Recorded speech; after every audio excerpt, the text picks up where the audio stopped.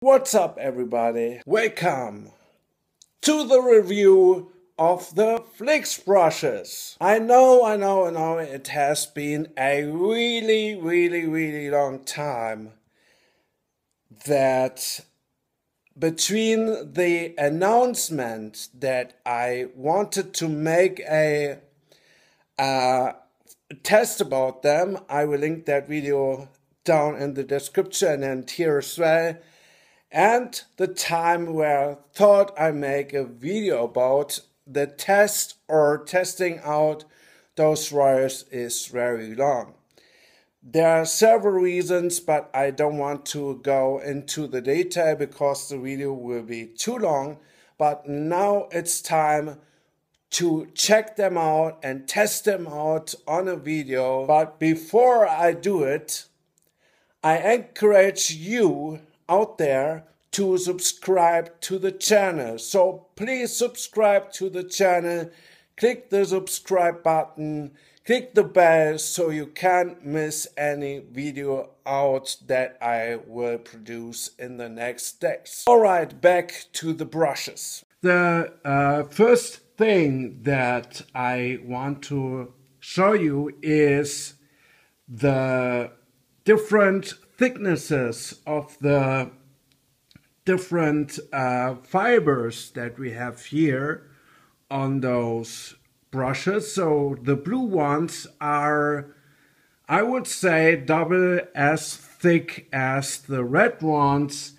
And I will test now out if that makes any difference in the sound because the red ones are for lower volumes and the blue ones are for the louder volumes and should have also a different sound.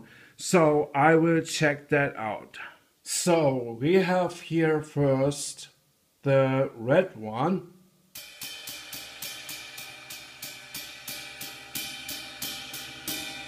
Which sounds very low in volume, even when I play it a bit hard. But it sounds very nice in the low volume setting. Now I have the blue one and it is louder, but the sound is also much more brighter than the red ones because those thick fibers that are on those brushes here produce a very bright, loud, nice sound on that cymbal.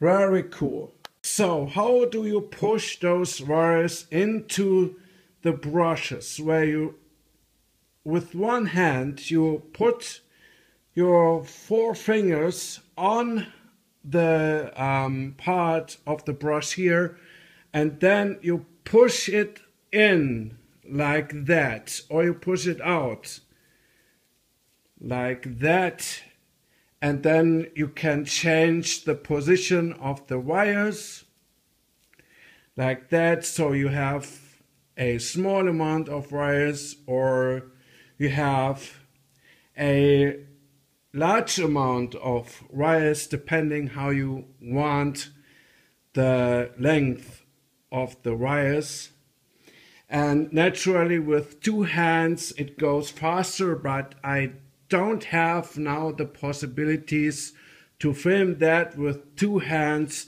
so I just made it with one hand.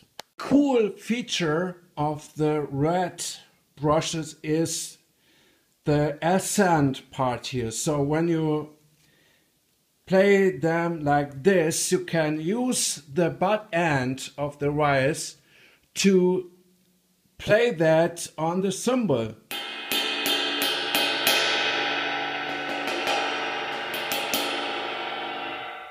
I also made a video about that on my channel. I will put it in the description box below and here as well. So now it's time to go into the handling quality of those wires and I can say I give them a 10 out of 10 because the handling quality is really really good and now I show you some styles that we can use with those wonderful wires.